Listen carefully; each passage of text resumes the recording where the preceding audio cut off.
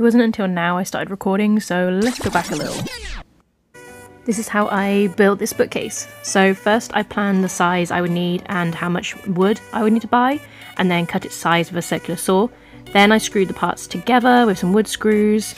I then sanded down the wood just to get rid of some of the rough edges and primed the wood with some MDF primer before painting. I think I ended up doing about two coats.